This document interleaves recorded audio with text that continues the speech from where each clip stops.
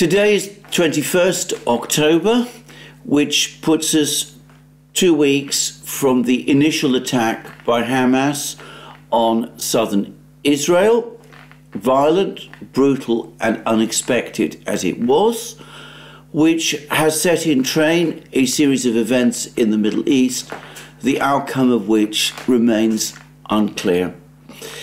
In the meantime, Israeli bombing of Gaza continues. Hamas and other Palestinian groups continue to launch missile and rocket attacks on Israel. And there is a festering military confrontation between Hezbollah and the Israeli military along the Lebanese border, though so far this doesn't seem to have escalated into an outright war. American warships continue to gather in the Middle East. There are more reports of more attacks on American bases in Iraq and Syria. Again, so far, these appear to have been at a limited level. But as I spoke about yesterday in my last program, there are also reports, unconfirmed, that Iran has been deploying long range missiles, long range missiles to their launch positions, suggesting that Iran is at least preparing for the possibility that it might become involved in some kind of military action. So the situation remains tense. We still have not seen and the launch of a ground operation by Israel into Gaza, but a multitude of comments now by Israeli officials continue to suggest that such a military operation, such a ground offensive into Gaza, is indeed coming. Now, I'm going to make a few quick observations about the military situation.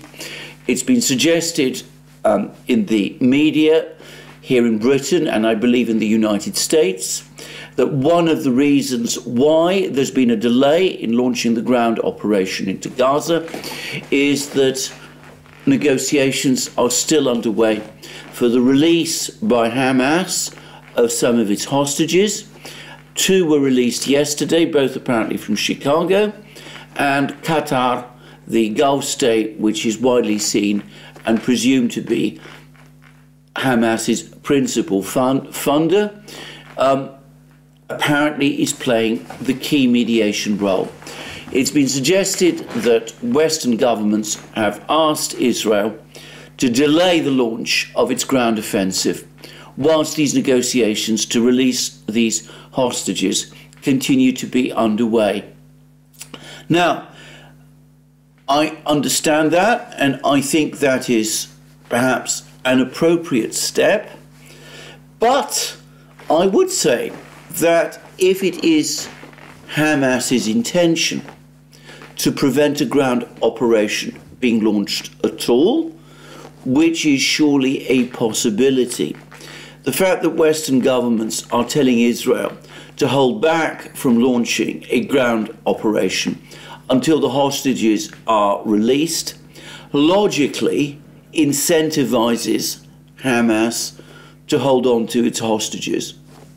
Now, the fact that Hamas instead appears to be releasing hostages in return for humanitarian assistance may suggest that Hamas is not as concerned about the danger of a ground offensive as perhaps some people in Washington and Israel and elsewhere might suppose. I'm just floating this thought. I'm not privy to Hamas's internal discussions.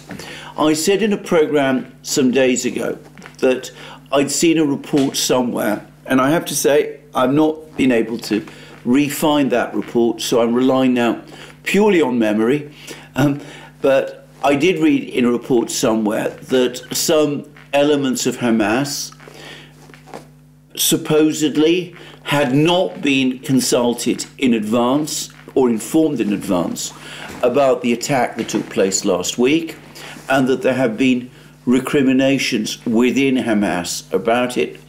It could be, if there really is such a split within Hamas and if such divisions do exist, that more moderate voices within Hamas are also trying to find a way out of this increasingly dangerous situation, and they might be looking to achieve that perhaps through Qatar by negotiating for the release of hostages. That's a possibility, but I have to say it's based entirely on speculation, and it seems to me that it is equally plausible that Hamas is united and knows what it is doing and is the, again making certain very fine calculations in its own self interest. Anyway, I just wanted to discuss those points because it did occur to me as interesting that two hostages yesterday were released. Now, allegedly, Hamas has got an agreement for the supply of um, humanitarian assistance into Gaza, and it's good to say that the crossing point between one of the crossing points between Egypt and Gaza was finally opened yesterday. President Biden gave the impression earlier that he'd already secured agreement to have it reopened. But as I said in my program yesterday, it actually happened several hours after he was supposed to have brokered that agreement. And whatever mediation he may have done in connection to it might not have been the reason, the actual reason why that crossing point was opened. But anyway, a crossing point was opened and humanitarian relief supplies, limited in quantity and not remotely to the level required by the catastrophic situation, the catastrophic humanitarian situation in Gaza, but at any rate, some humanitarian supplies have indeed been provided to Gaza over the last few hours. Now, again, I've noticed that no one, perhaps understandably, is making a direct connection with the release of the hostages, the two hostages. Nobody's saying that these relief supplies were allowed into Gaza uh, in return for the release of the hostages. And I don't know personally that there is such a connection. But again, it has to be a possibility and it is again one that I just leave out there. Um, those who have more access to information about the situation than me can either confirm or refute it. But anyway, that's the situation at the moment on the ground. Incredible tension, massive mobilization of Israeli troops, lots of extremely strong statements from Israel. Now, that is hardly adequate to describe the language that is coming out of Israel. For the moment, I've discussed in previous programs my very deep concern about the nature of some of the language. And I said that in the event that war crimes were to take place over and above the violations of international humanitarian law, which, in my opinion, and in the opinion of many jurists, have already taken place. If there were such war crimes, and if those war crimes did result in prosecutions, then this language that we are hearing, and I use the present tense, potentially becomes evidence in those prosecutions. And again, I want to reiterate that fact. I think it is one that people have a tendency to ignore. But anyway, the rhetoric remains unbelievably strong. There's no sign of it moderating. And if for what it's worth, I don't get any sense that the bombing and the missile strikes are moderating either. On the contrary, they seem to be continuing with the same level of intensity as always. And of course, as I discussed yesterday in my program, we had complex maneuvers in the UN Security Council. First, one draft resolution calling for a ceasefire coming from the Russians, followed almost immediately by a second draft resolution calling for a ceasefire, drafted and proposed by the Brazilians. I said already that it's obvious to me that there was collusion or cooperation, if you prefer, between the Russians and the Brazilians in this sudden flurry of draft resolutions that we saw. But anyway, the United States vetoed the Brazilian resolution, and previously the Russian resolution did not find sufficient support. And for the moment, diplomatic moves in the Security Council remain in abeyance. I doubt that that will be the case for very much longer. As the humanitarian situation in Gaza continues to deteriorate, and despite the small amount of relief supplies that have entered Gaza, which, as I've said, are nowhere near adequate to addressing the humanitarian crisis that is developing there. Well, notwithstanding that, even if there is no ground invasion, the humanitarian crisis in Gaza will deepen and intensify and start to do so rapidly as supplies of food and water run out, that is inevitably going to have a major global impact. And of course, if Israel does launch its ground offensive, which again is looking increasingly likely, well, that will escalate demands for a ceasefire and will almost certainly lead to further moves in the United Nations, in the Security Council, um, also.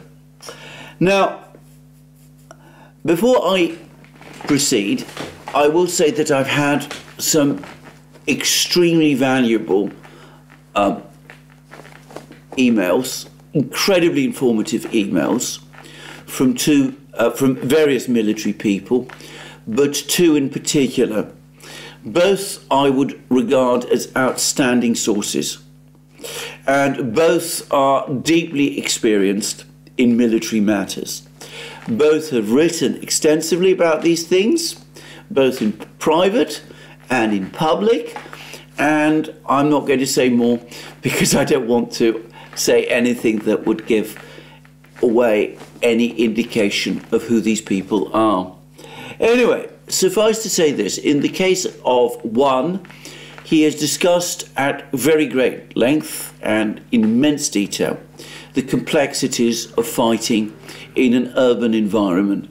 And I'd like to take this opportunity to thank this person.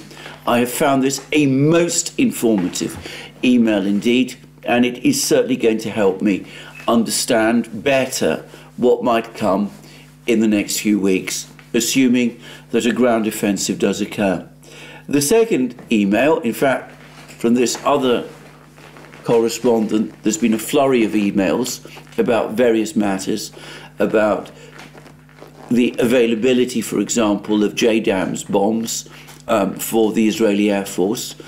Very interesting, very important information.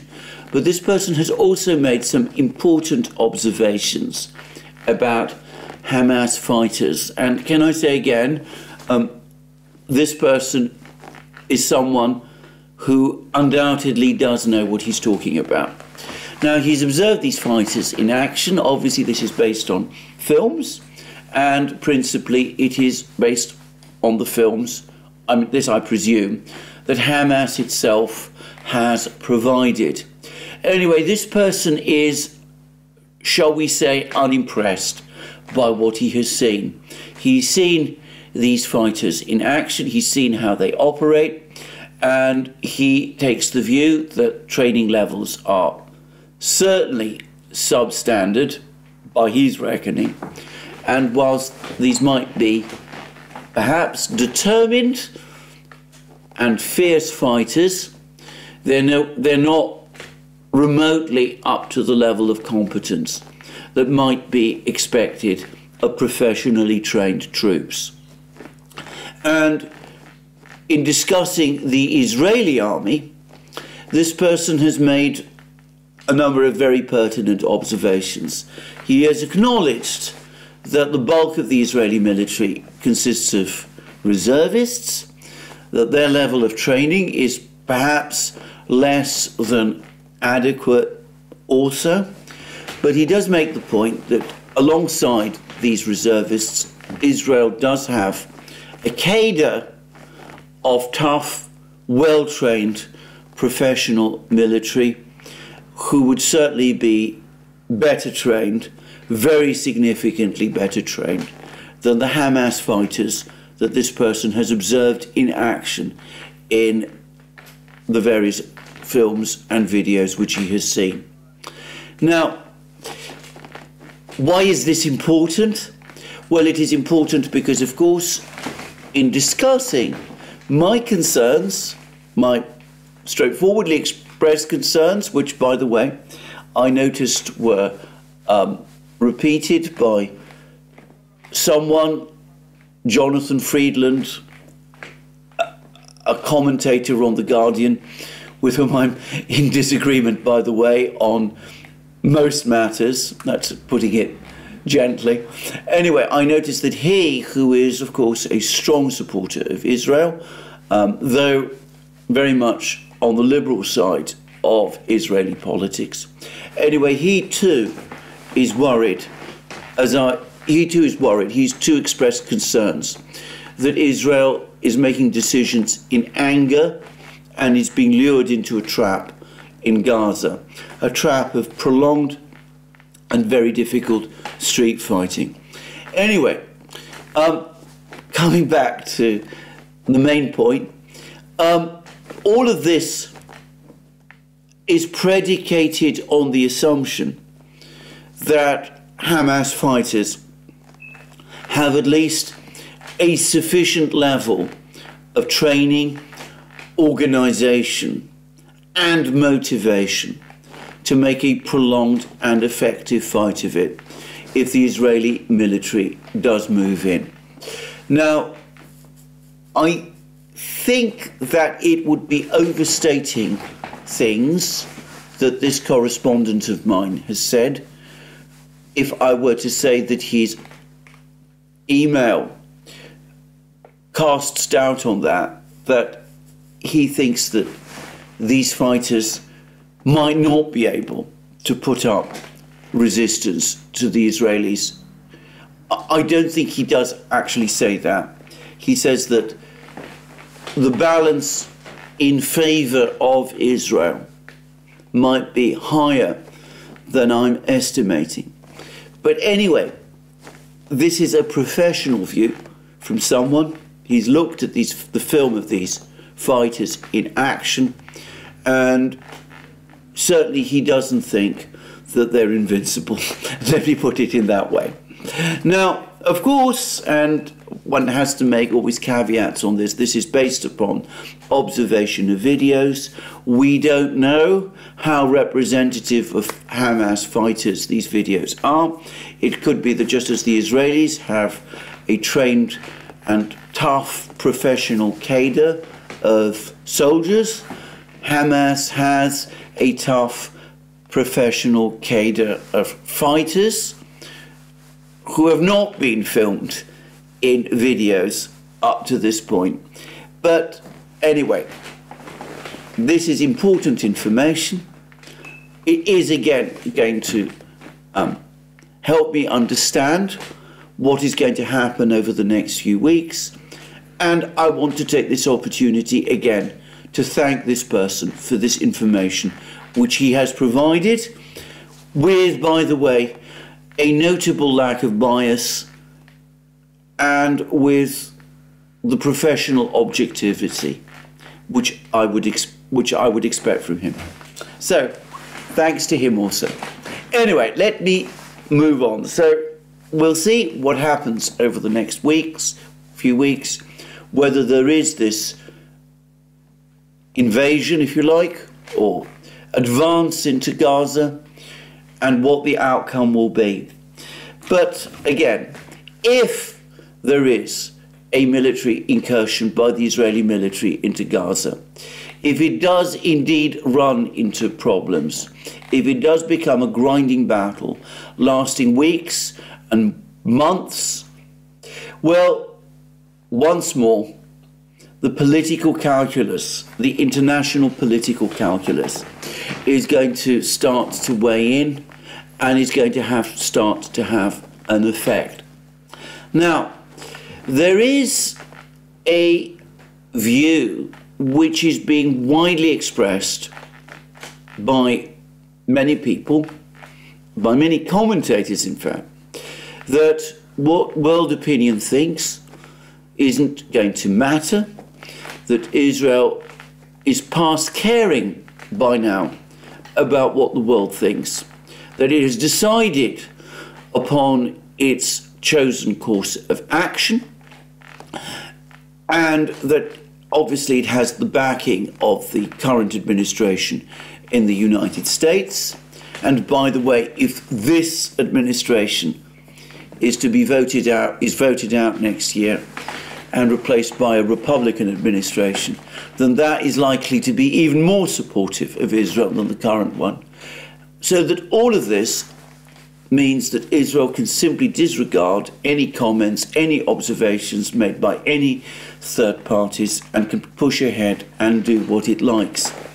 And beyond that, I have been reading in many places, in open sources, in the mainstream media, but by the way, also in emails which have been addressed to me, observations by people who are on both sides, by Israelis and Palestinians, and by their supporters, who both make clear to me that for each of these sides, this is now a matter that brooks for no compromise.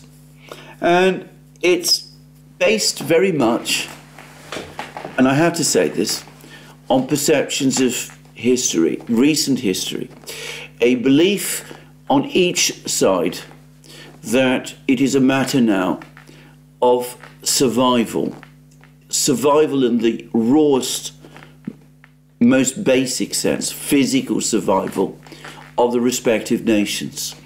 That Israel sees this attack by Hamas, or many people in Israel and in the Jewish community worldwide see this attack by Hamas not so much as a political act, but rather as an expression of hostility to Jews generally and a desire to destroy them, and on the part of Palestinians, that it is seen this, that these events are interpreted as part of a desire by Israel to drive all Palestinians out of the entire territory of historic Palestine, to displace them entirely, in effect, destroy them as a nation, so that Israel can be established across the entire territory once and for all. And these narratives do exist, and I have to say that there is one cannot say that these historical narratives are ungrounded. There has been a long history of persecution and hostility to the Jewish people, culminating in the events of the Holocaust in the 1940s. And these, of course, shape understanding of events by Jewish people today. And of course, on the part of Palestinians, there has been massive displacement of the, their populations from Palestine, a thwarting of their desire for self determination as a nation and as a people, the establishment of an independent state on their own territory. And this, of course, is feeding in to their fears about what the intentions, not just of Israel, but of the Western powers towards them also are. And there is no doubt at all that these fears have been heightened by recent events on both sides, and they are making they're making each side more intransigent and at the same time are making them more heedless about ignoring global opinion and violating international humanitarian law. Uh, if one believes that it is one's survival that is at stake, then it becomes understandable. Now, I'm going to say that, in my opinion, this is wrong. I think that this is a misunderstanding of the crisis, and that the nature of the crisis is such that international opinion cannot be ignored, and nor can humanitarian law.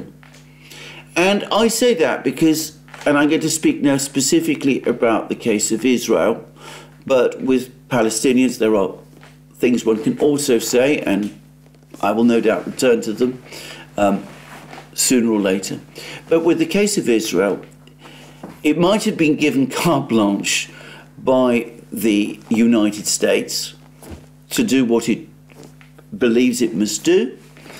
But of course, the United States is itself only one country, however powerful, and the United States also has international interests in, and concerns which cannot simply be disregarded.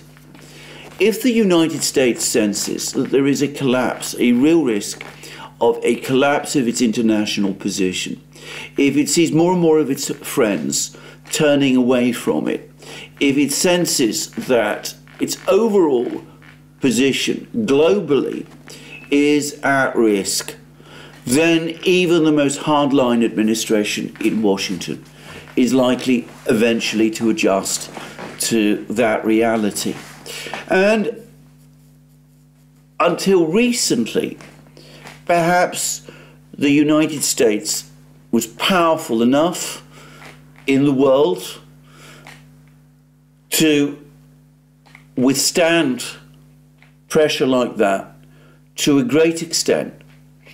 But today, in a situation of intensified geopolitical competition with China and Russia in combination, at least able, able at least to equal the aggregate power and influence of the United States, and possibly in some places even exceeded, it would be unwise to assume that the United States can simply disregard international complaints and pressure as it could in the past.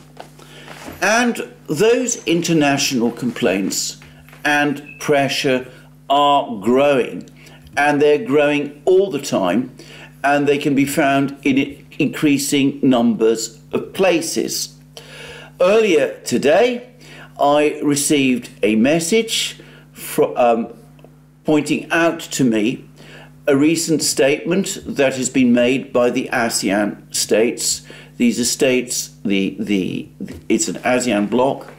It's, uh, it consists of many of the most powerful states within um, Asia states that the United States wants to have as friends in its competition with China and which it has been actively courting.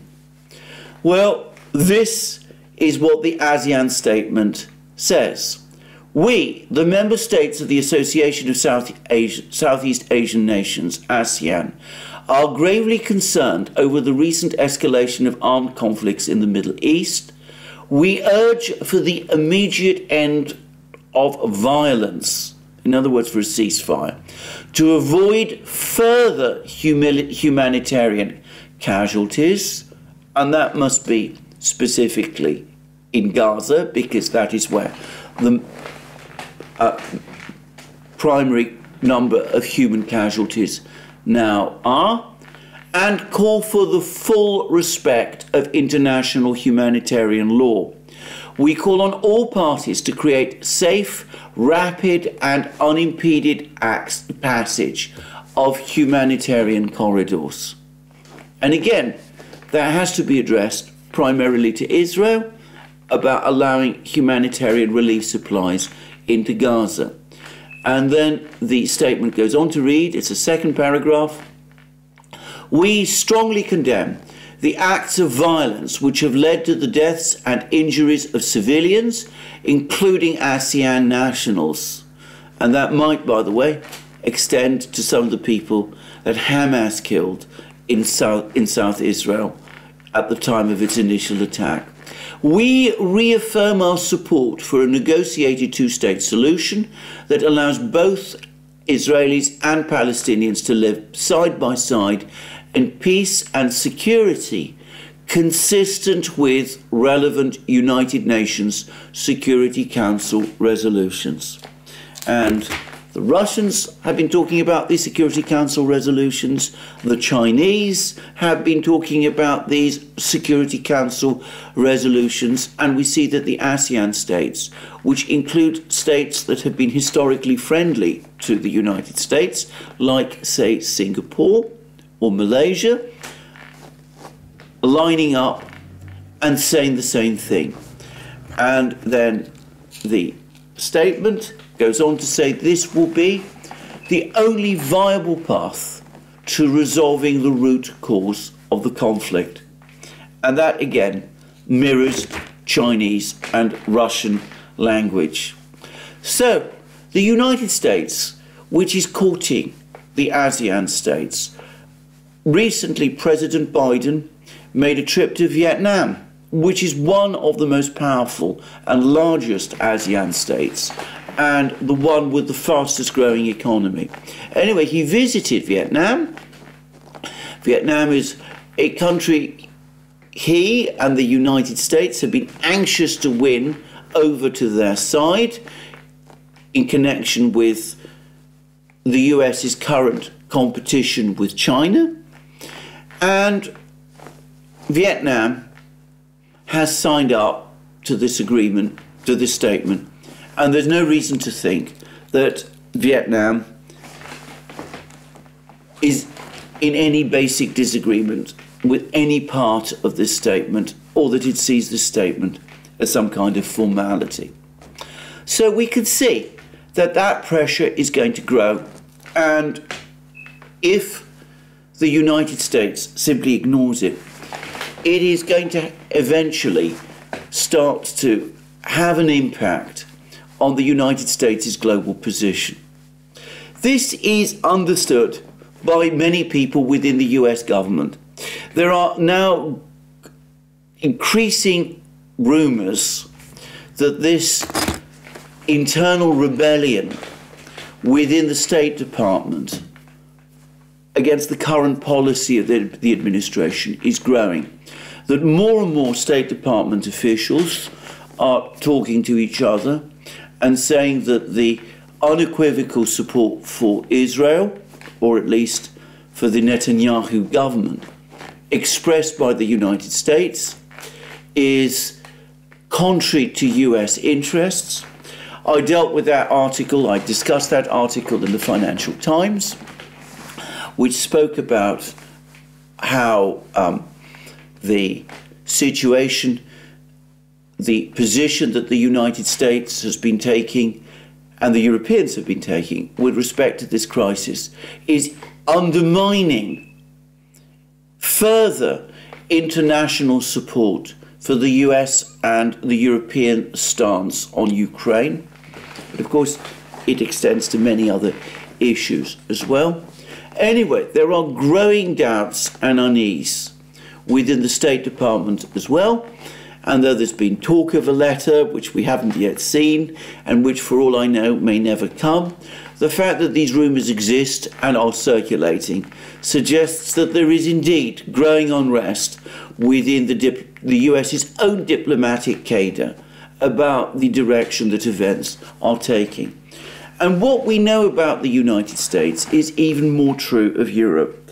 It is openly reported in the mainstream media in Europe that several EU states were deeply unhappy by the actions of EU Commission President Ursula von der Leyen travelling to Israel, appearing to give Israel unqualified support, doing so without first getting a mandate from the EU, the EU states, speaking, in other words, without first consulting them and with it before a global, uh, a, a united position was reached. And if this crisis continues, if it's prolonged, if there is a humanitarian disaster in Gaza, and if there is a ground operation which drags on with pictures every day of more buildings destroyed, more people killed, more ambulance sirens blaring, more people being taken into those ambulances, if reports continue to spread of shortages of urgent medicines, of water shortages, all those kind of things, well, all that opinion will intensify and will grow. and it will the dissent will grow not just amongst officials, where it is at the moment perhaps most strongly expressed, at least in the United States, it will start to spread increasingly and unavoidably to the European public, which now has um, amongst its midst millions of people who've come to live in Europe and who have Islamic are of Islamic faith and who are naturally predisposed to sympathize with the Palestinians and who for whom the status of the Al-Aqsa Mosque is as important as it is for Muslims everywhere. Anyway, pressure for them from them and also from many other people within Europe, people who are not of that background, but who do not want to see a humanitarian crisis, is going to grow also. And sooner or later, inevitably, it is going to be impossible to hold the line. The most determined government in the United States, the most resolute in support of Israel, is eventually going to find that the political costs of sticking to a policy in which Israel is launching attacks on Gaza and imposing an on blockade on Gaza and is looking to resolve this matter in the way that some people in Israel have been saying unilaterally in any event. The point is going to come, it will inevitably come provided this conflict is prolonged, when even the will of the United States is going to break, and at that point, the inevitable resolution, part drafted undoubtedly by the Russians, backed by the Chinese, backed by the Arab states and the Muslim states, will go to the Security Council or to the United Nations General Assembly, and the United States will feel unable to veto it or to block it.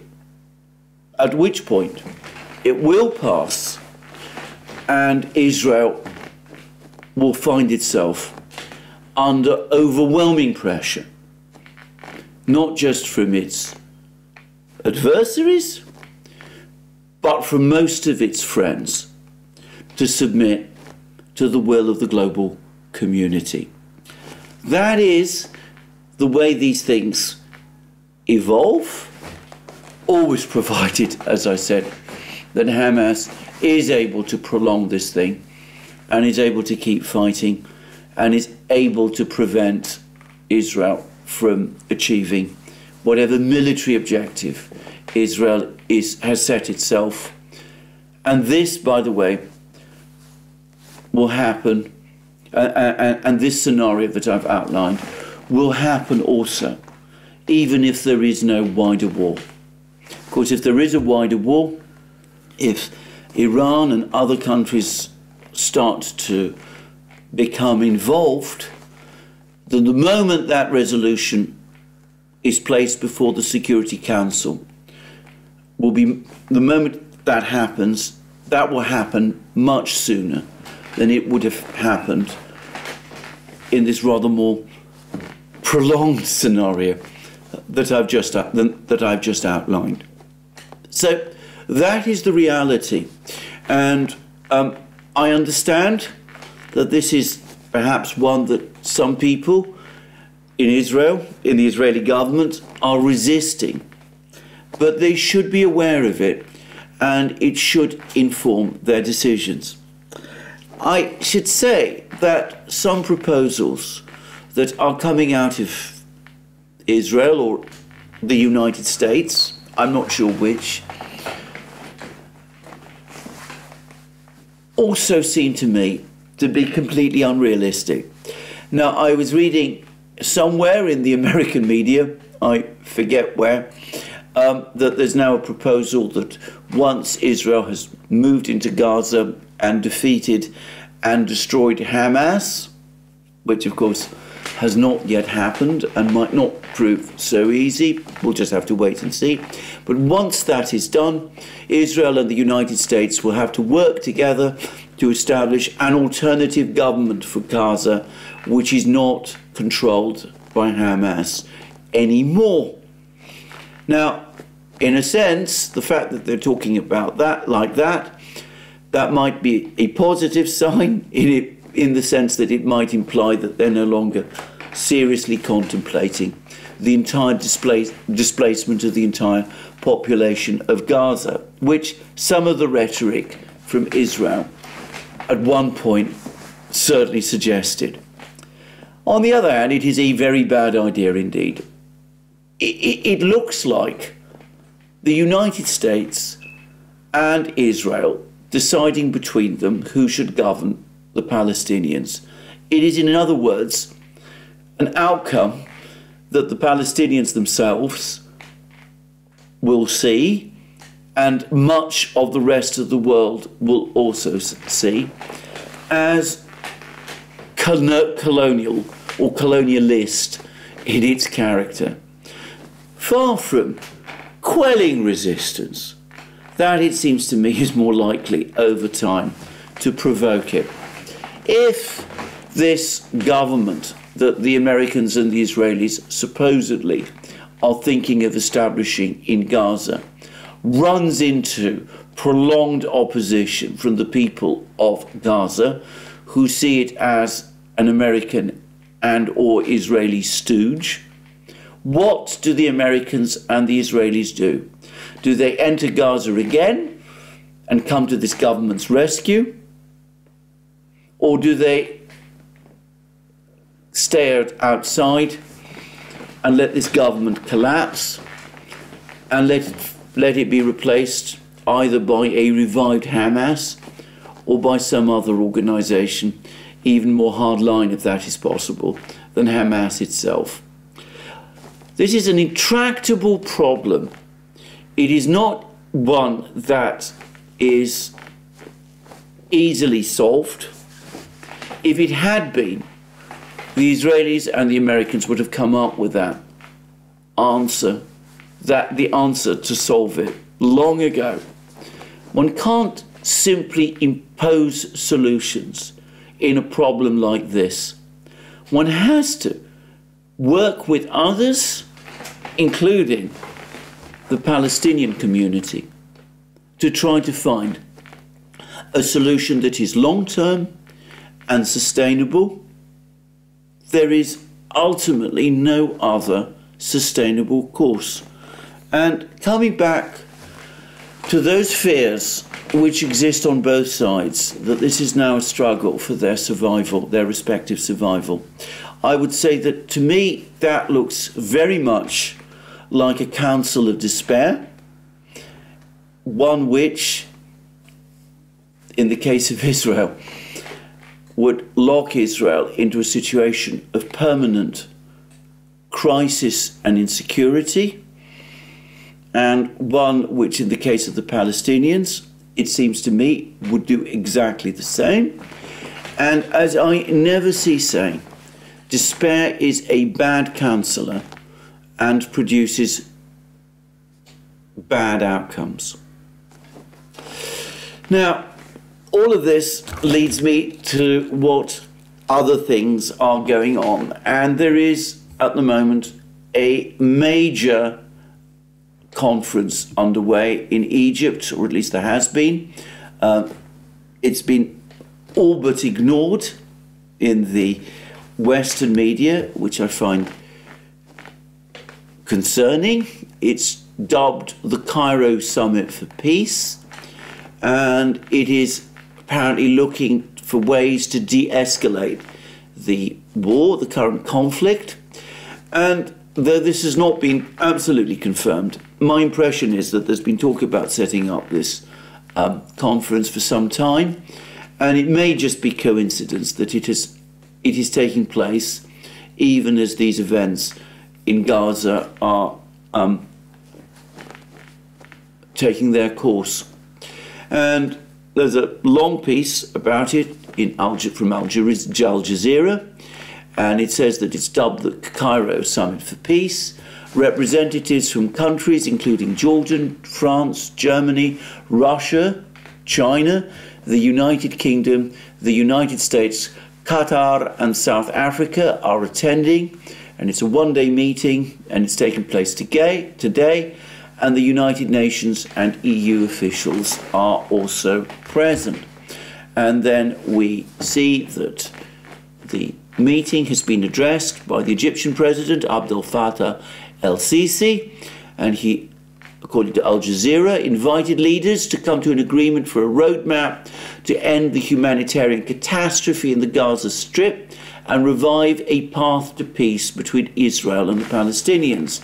The plan's goals include the delivery of aid to Gaza and agreeing to a ceasefire followed by negotiations leading to a two state solution. Now, hold on to that. Al Sisi is now giving us a clue as to what the shape of the eventual UN Security Council resolution is going to be. It's going to call for the delivery of aid to Gaza, it's going to call for a ceasefire. Obviously, the release of hostages is something we can be certain will be there. But apparently, the resolution, when it comes, it's going, is going to call for the immediate convening of negotiations leading to a two state solution. And we also, further on in the article, learn that on Wednesday, Egypt also called for the international for an international conference to discuss the developments and future of the Palestinian cause. And Al Jazeera tells us Foreign Minister, Egyptian Foreign Minister Sameh Shoukry said the meeting would seek an international concurrence on the need for de escalation and humanitarian aid deliveries to the Gaza Strip. So, an international conference. And it is surely not a coincidence that last week Chinese Foreign Minister Wang Yi was talking about that very thing in that rather tense conversation he had with US Secretary of State Tony Blinken. We can see that the ideas, the idea of an international conference, is now circulating. And we don't know where it originated. I suspect it did originate from China. But anyway, putting that aside, the, the Egyptians have now also picked up on it and are now running with it. And we also see that um, other senior Arab leaders are also attending the summit, and one of them is King Abdullah of Jordan, a staunch ally of the United States. And Al Jazeera quotes him saying the following All civilian lives matter. The relentless bombing campaign underway in Gaza as we speak is cruel and unconscionable on every level. It is collective punishment of a besieged and helpless people. It is a flagrant violation of international humanitarian law. It is a war crime. Anywhere else, attacking civilian infrastructure and deliberately starving an entire population of food, water, electricity, and basic necessities would be condemned. Accountability would be enforced, but not in Gaza. And those are the words as I said, of one of America's staunchest allies in the Middle East, King Abdullah of Jordan. And um, I've seen that another Saudi prince, Prince Turki, who was, I believe, formerly a prominent diplomat, he's been rather more circumspect and measured in his language. He's added to these criticisms of Israel because King Abdullah's words are obviously directed at Israel. King Prince Turki has also made strong criticisms of Hamas, but he's also echoed many of these criticisms effectively of Israel that we have, and by extension, by the way, also the United States, which we see King Abdullah also making. So this is a conference. Apparently, Israel is not represented. They've not sent a representative, which is unsurprising. And the representative who is there from the United States is apparently a middle ranking official, not someone that is taken especially seriously. By the way, that was a serious mistake, in my opinion. Yet again, it would have been far more wise and appropriate for the United States to send one of its top people to attend the summit. After all, President Biden's national security advisor, Jake Sullivan, has been attending similar types of peace summits concerning the conflict in Ukraine. Peace summits from which the Russians have been excluded. New one is supposed to happen fairly soon in Malta, by the way. Why can he not attend a summit like this on the issue of Gaza in Cairo. Again, the absence of such an important official or, or of an important official from the United States at this meeting in Gaza will be noticed in the Middle East. Anyway, the point is that we can see that the head of steam is building up. The Israelis weren't there, the Americans weren't there, but we can see that moves are underway towards an in, a plan for the way forward. And we saw also from that statement by ASEAN that international opinion is crystallizing behind it. The United States suffered a humiliating reverse at the Security Council when it was isolated in its decision to vote against and veto the Brazilian draft resolution. Now, the Russian ambassador to the UN, Dmitry Polyansky, or I should say, deputy ambassador to the UN, Dmitry Polyansky, has now been messaging that the United States stabbed its friends in the back. It had said when it opposed the Russian resolution, the Russian draft resolution on the previous day, that it was opposing it because it contained, contained no criticism of Hamas. The US's friends, therefore, assumed that it would support a similar resolution which did condemn Hamas. Now, the, in fact, the United States did the opposite. It vetoed the resolution, even when it condemned Hamas. The Russians are already saying that the US's friends feel betrayed and feel that they've been stabbed in the back.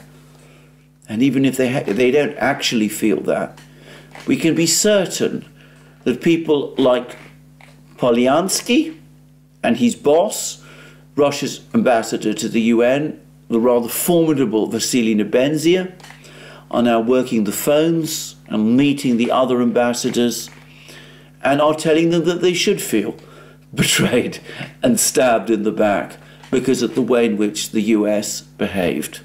And it won't just be the Russians. The Brazilians will be there saying it as well.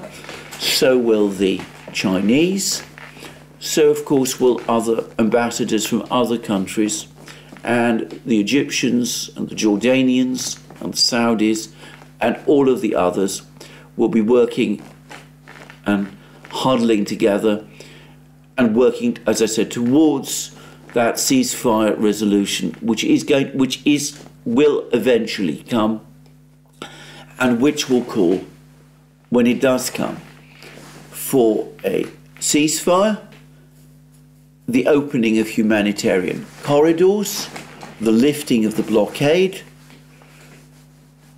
the release of the hostages, and for immediate negotiations to resolve the crisis conducted within the framework of an international conference.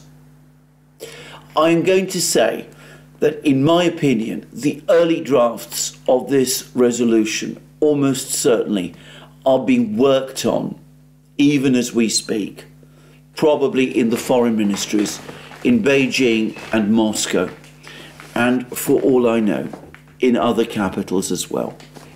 So, that is the crisis at the moment. We will see whether the Israelis do advance into Gaza. We will see where this crisis goes. The urgent thing at the moment is to prevent this conflict escalating, to avoid situations where the fighting in Gaza spreads to other places.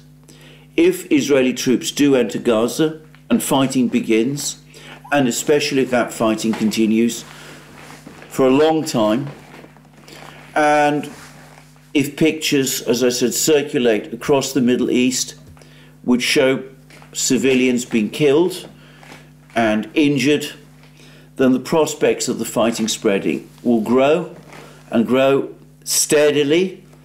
There'll be more attacks on isolated American garrisons across the Middle East. Sooner or later, American soldiers will risk experiencing fatalities and then, as I said, we could see an even greater and more disastrous turn in the crisis. And pressure for that resolution in the Security Council increasing and it be, being brought forward even sooner than I expect. Now, all of this is happening because Israel and the United States are not looking at this problem in a political way. they're looking at this problem purely in military terms as something that can be resolved through some kind of military operation when that is probably beyond their power to do. In the absence of ideas coming from them, we can see that the ideas to resolve this crisis are coming from others, and that if this resolution is passed and does carry, the Russians and the Chinese will have achieved their objective, which is to oust the United States from its leading position in the diplomatic efforts to resolve this crisis, which it has enjoyed for the past 45 or so years. So that's where we are with this crisis at the moment. Let me say again, I think the United States has made a major mistake, one mistake, one further mistake, in ignoring the summit in Cairo. I know that there are some people who think that these summits are just talking shops, that the people who attend them just bloviate and that they don't result in anything.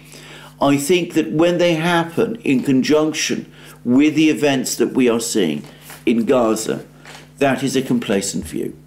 Anyway, that's where we are about the situation in the Middle East. It is becoming increasingly difficult to give the conflict in Ukraine the time and attention that it deserves.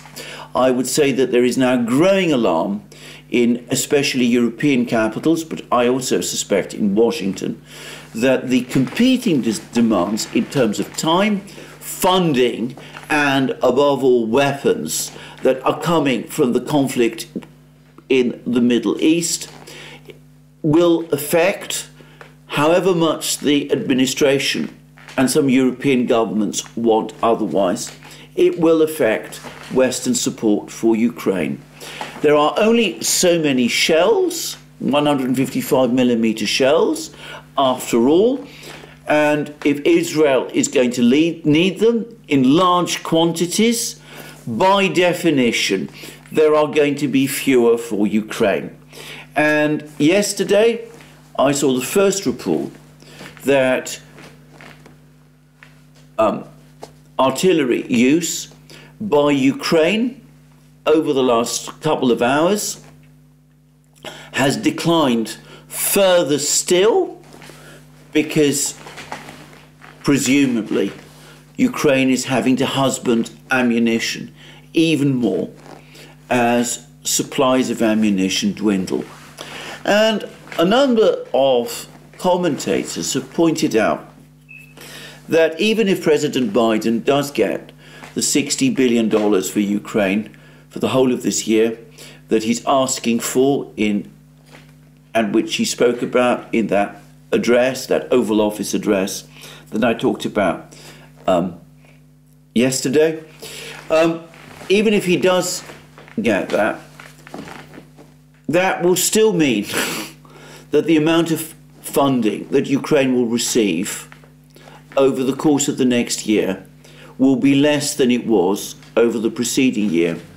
And in terms of funding going into Ukraine's economy, the reduction will be substantial by around 20%, with Europe now deep in economic uncertainty and probably recession, unable to make up the difference. And there's already been an alarm statement coming from the EU and the US about the real danger that the Ukrainian economy might actually collapse.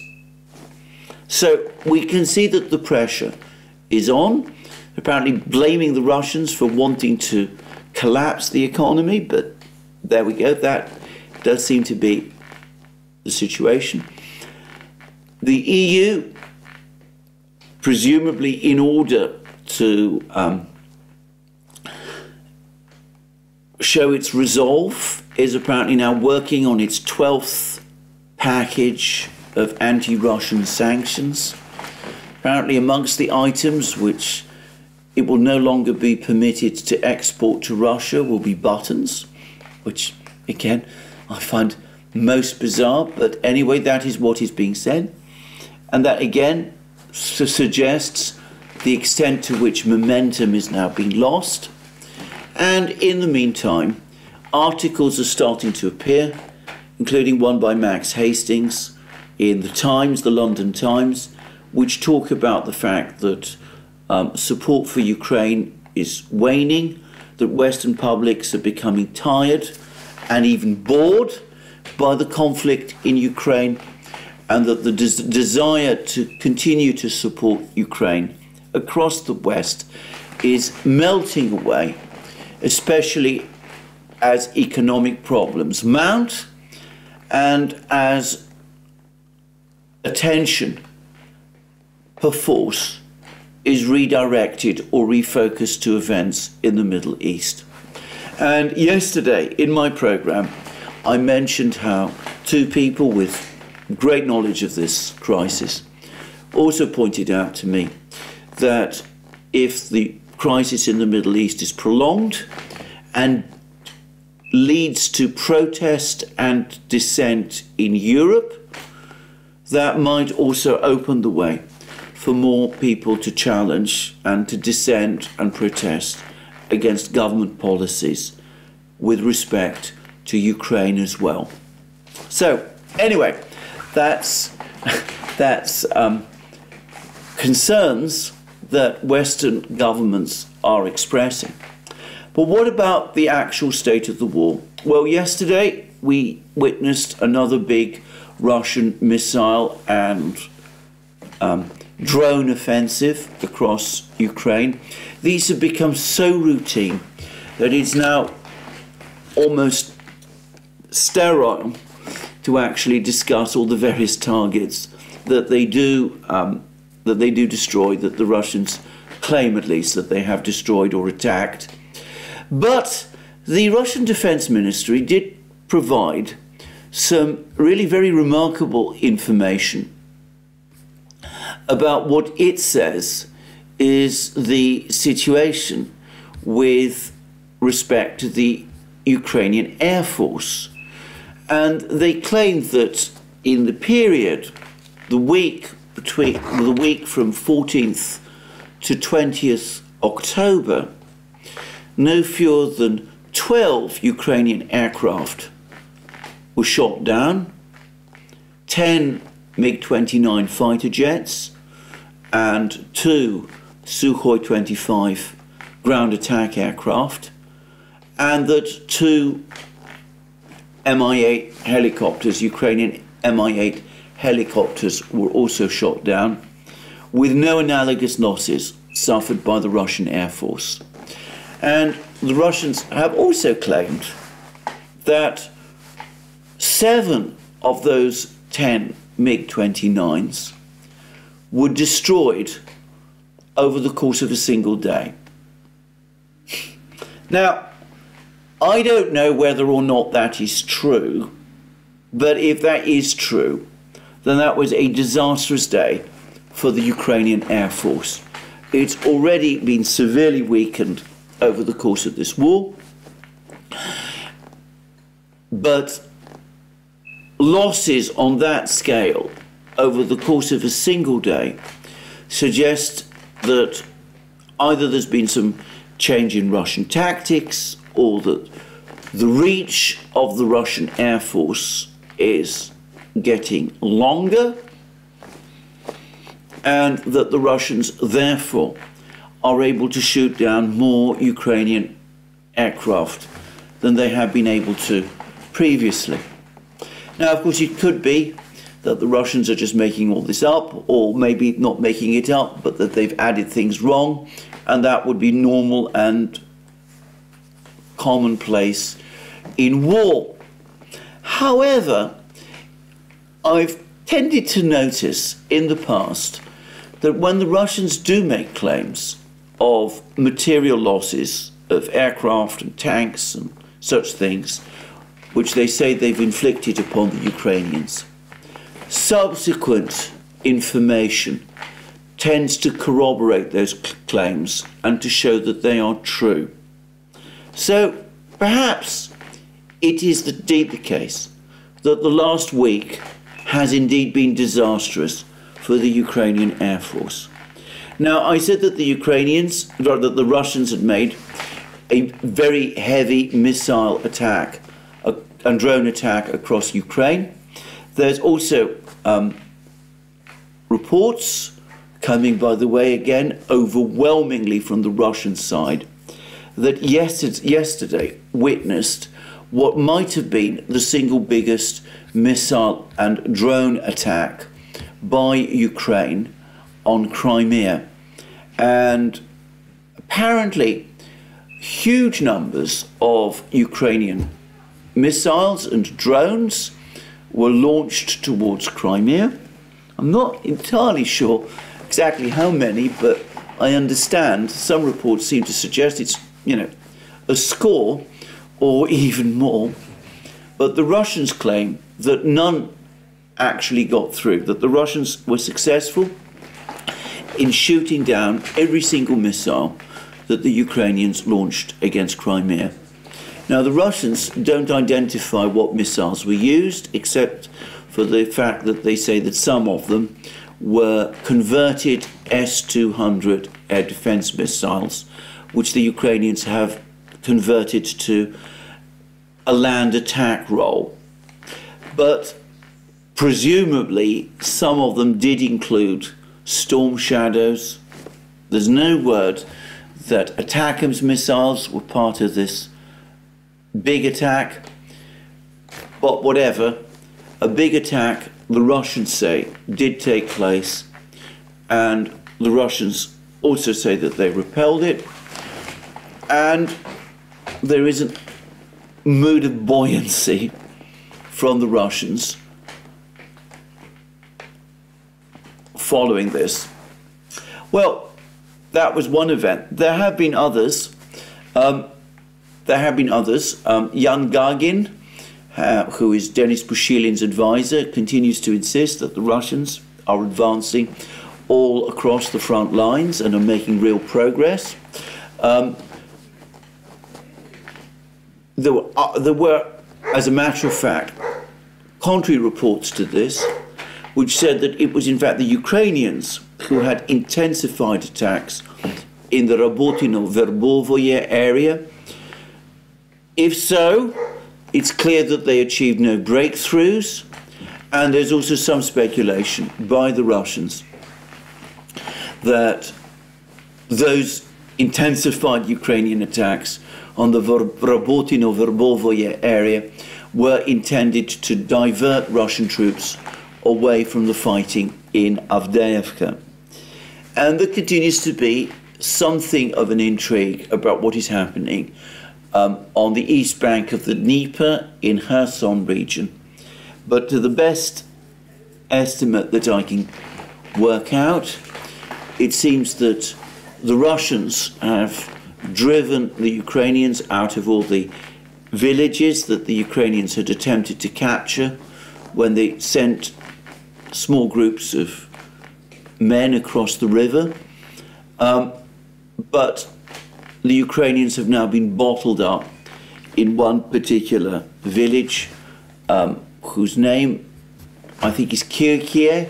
I'm probably get, getting that wrong. That's, maps seem to show that it is literally almost on the banks of the river. But apparently, the Ukrainian troops, who are said to number one or perhaps two platoons, so we're talking about maybe 30 to 60 men are basically holed up in this village and there's firefights between them and the Russians going on and in the meantime there are artillery exchanges. But the suggestion is that the fighting in this area has um, become more complex because of increasingly difficult weather conditions that's making it more difficult for the Russians to gain drone footage of where these Ukrainian soldiers exactly are, but at the same time, it's also making it more difficult for the Ukrainians to send reinforcements and supplies across. Anyway, as I said, this is a somewhat uncertain story. The fog of war here is particularly dense. But I don't get the sense that the Russians are in any way seriously concerned about this particular fighting. The focus continues to be Avdiivka. Russian reports still speak of their troops advancing.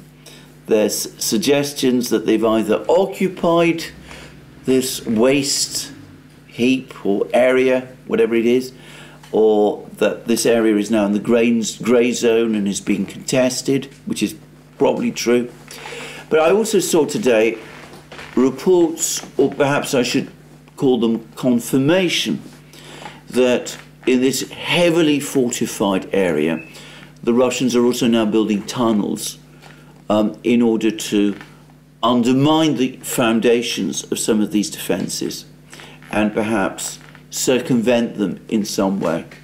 And this is unsurprising. It has happened in many wars. We see that Hamas has created a network of tunnels in Gaza, so tunneling is by no means an unusual tactic in war.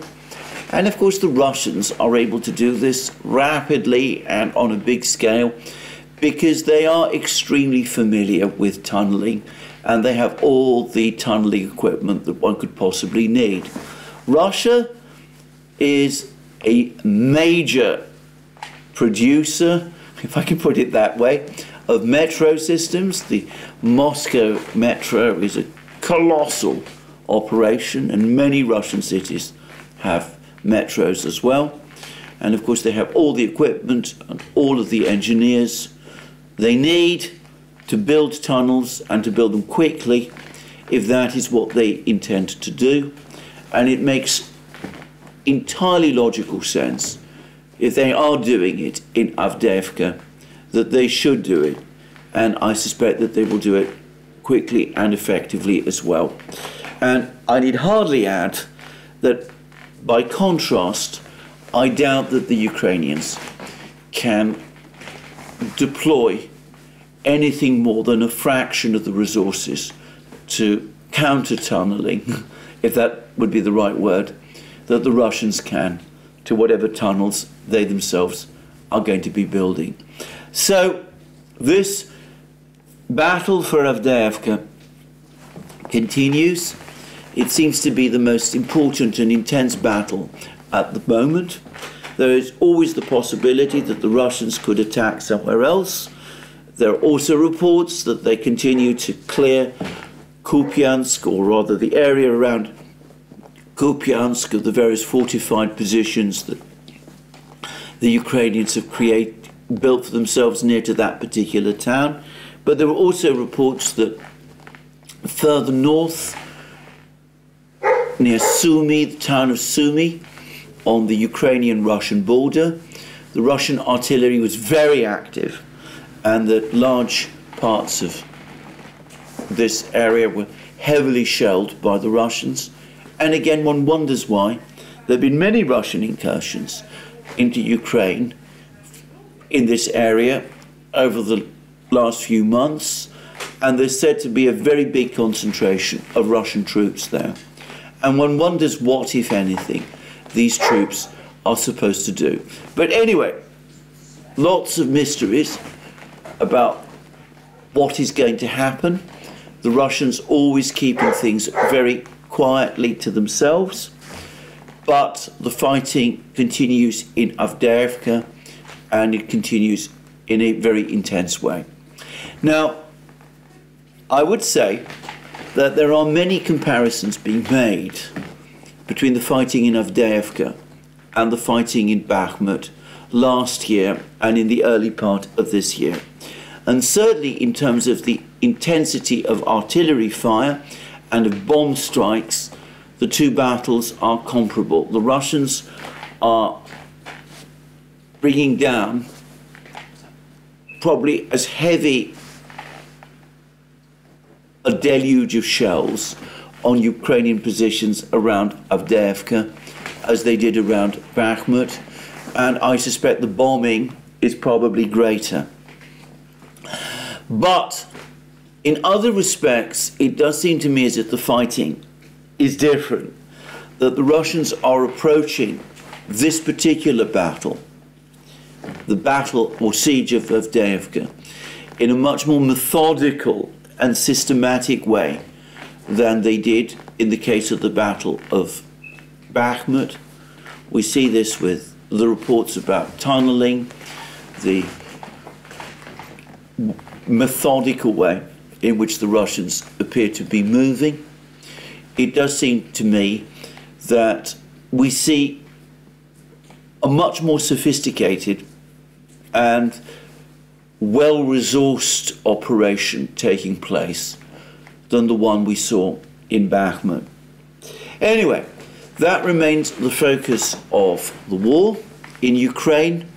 Let me reiterate again that everybody on the Russian side assumes that this battle will take a long time, despite the fact that the gap between the two pincers that are gradually enveloping Avdiivka is said to be only eight to nine kilometers wide.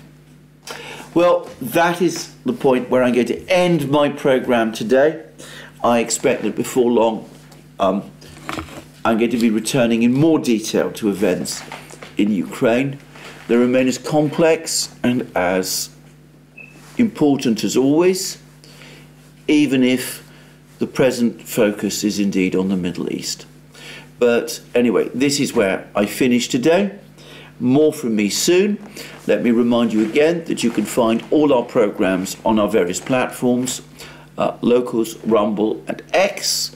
You can uh, support our work via Patreon and Subscribe Subscribestar, links under this video. You can go to our shop and get yourself the magic mugs and hats and hoodies and t-shirts and all those great things that you will find there. And last but not least, if you've liked this video, please remember to tick the like button and to check your subscription to this channel. That's me for today. More from me soon. Have a very good day.